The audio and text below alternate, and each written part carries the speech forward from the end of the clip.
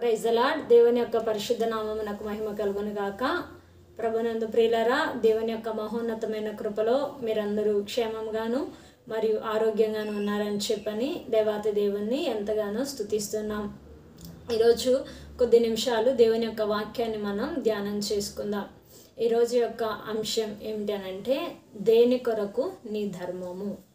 మత్తైసు వార్త ఆరో అధ్యాయము మూడు నాలుగు వచనాలను ధ్యానం చేసుకుందాం. నీవైతే ధర్మము చేయనప్పుడు నీ ధర్మము రహస్యముగా నుండి నిమిత్తము నీ కుడి చేయి చేయనది నీ ఎడమ చేతికి తెలియకుండా వలెను అట్లయితే రహస్యమందు చూచు నీ తండ్రి నీకు ప్రతిఫలం ఇచ్చును ప్రభునందు ప్రిలరా మనము మన యొక్క అనుదిన జీవితాలలో అనేక మందికి మనము ధర్మం చేస్తూ ఉంటాము సహాయం చేస్తూ ఉంటాం కొంతమంది అయితే అసలు చేయరు అనుకోండి అది వేరే విషయం.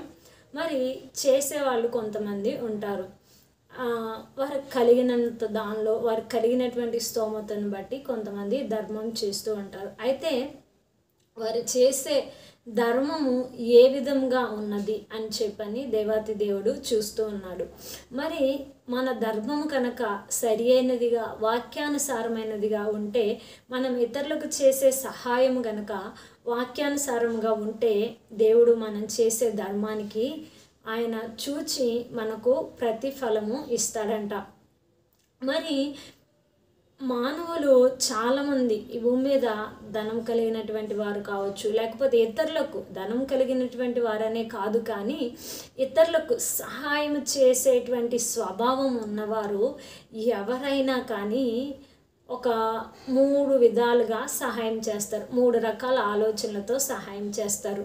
మొదటి రకం ఏమిటనంటే వీరికి ఏదైనా సహాయం చేస్తే వారి దగ్గర నుంచి నాకు ఏమొస్తుంది అన్న స్వార్థపూరిత ఏదైనా వస్తేనే వారికి సహాయం చేస్తారు. అంటే వారి వల్ల ఏదైనా ఉపయోగం ఉంటేనే వారికి సహాయం చేస్తారు. అది స్వార్థపూరితమైనటువంటి ధర్మము. రెండవది ప్రజల ముందు గొప్పగా కనిపించడానికి పెద్ద దా దాతృత్వం కలిగినటువంటి వ్యక్తిగా పెద్ద దాతగా కనిపించటానికి ప్రజల్లో మంచి పేరు కావాలి అని చెప్పని ప్రజల కొరకు డాంబికముగా దాతృత్వమును కనపరుస్తూ ఉంటారు పేదల పట్ల. అది జీవపు డంబంతో కూడినటువంటి దాతృత్వం. మూడవది కనుక చూసినట్లయితే కొంతమంది ఎందుకు చేస్తారంటే నా ధర్మం ద్వారా నేను చేసే ఈ భూమి మీద నేను చేసే ధర్మం ద్వారా పరలోకమందున్న నా దేవుని యొద్ద నుంచి నాకు ప్రతిఫలము కావాలి. ఆ ధనాన్ని నేను పరలోకంలో కూర్చుకోవాలి అన్న ఒక మంచి సదుద్దేశంతో ధర్మం అనేటువంటిది చేస్తూ ఉంటారు. అంటే ఇతరులకు సహాయం అనేటువంటిది చేస్తూ ఉంటారు. మరి నువ్వు ఏ విధముగా చేసినా కానీ పొందుకునేవారు మేలు పొందుతారు. కానీ దానిని బట్టి నీకు ప్రతిఫలము వస్తుందా రాదా అని చెప్పని నీవు ఆలోచించుకోవాలన్నమాట. ఒకవేళ నీవు కనుక స్వార్థపూరితమైనటువంటి ఆలోచనతో కనుక నీవు ధర్మం చేసినట్లయితే ఆ ధర్మం నువ్వు చేయటము వ్యర్థము. ఎందుకనంటే దానివల్ల నీకు ఎటువంటి ప్రతిఫలము కూడా రాదు. ఏదో ఆశించి వారి దగ్గర నుంచి నీవు ఒకటి ఆశించి చేస్తున్నావు కాబట్టి నీకు దానివల్ల ఉపయోగం లేదు. వారు మరలా తిరిగి నీకు దాన్ని ఏదో ఒక విధముగా నీ ఇచ్చిన ధర్మానికి వారు న్యాయం అనేటువంటిది చేస్తారు కాబట్టి దాని వల్ల నీకు ఉపయోగం కలిగేటువంటిది ఏమీ లేదు.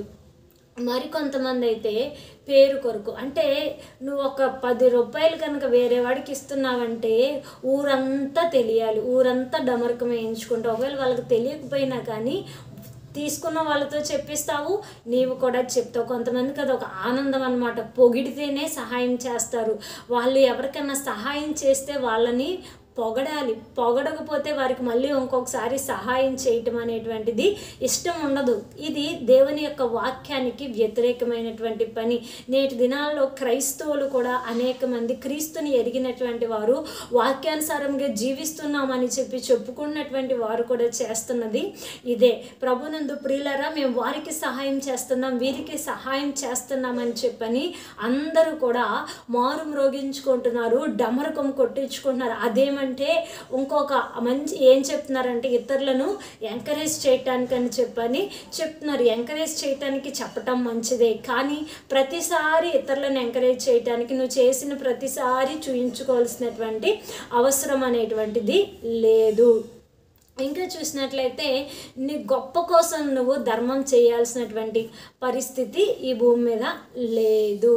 కాబట్టి నీవు కనుక ఎవరికైనా ధర్మం చేయాలనుకుంటే చుట్టుప్రక్కల ఎవ్వరికి తెలియాల్సిన అవసరం లేదు. నీ కుడి చేతితో ఇచ్చింది నీ ఎడమ చేతికి కూడా తెలియకూడదు. నీవు రహస్యంగా వారికి వాళ్ళు ఎవరికైనా నువ్వు సహాయం చేయాలనుకుంటే స్టేజీల మీద పిలిచో లేకపోతే నలుగురిని పిలిచో నలుగురు ముందు నీవు దాన ధర్మాలు చేయటం కాదు కానీ నువ్వు నిజంగా యథార్థంగా ధర్మం చేసి దేవుని దగ్గర నుంచి కానీ నువ్వు ప్రతిఫలం పొందాలి అని అంటే రహస్యంగా నువ్వు వారికి ధర్మం చేసినప్పుడు రహస్యమందు పరలోకమందున్నటువంటి నీ యొక్క తండ్రి చూసి నీకు ప్రతిఫలము ఇస్తాడు. కాబట్టి దేవాతి దేవుని దగ్గర నుంచి రహస్యమందు చూచుచున్న దగ్గర తండ్రి దగ్గర నుంచి నీవు ఫలము పొందుకునే విధముగా నీ ధర్మము దాని కొరకు ఉండాలని చెప్పని ప్రభు అయినటువంటి యేసుక్రీస్తు వారు ఆశపడుతున్నాడు మరి వాక్యానుసారంగా మన ధర్మము ఇతరులకు చేసే సహాయము ఉండులాగున్న దేవాత దేవుడు మనందరికీ కూడా సహాయం చేయనుగాక. Amen. God bless you all. Praise the lord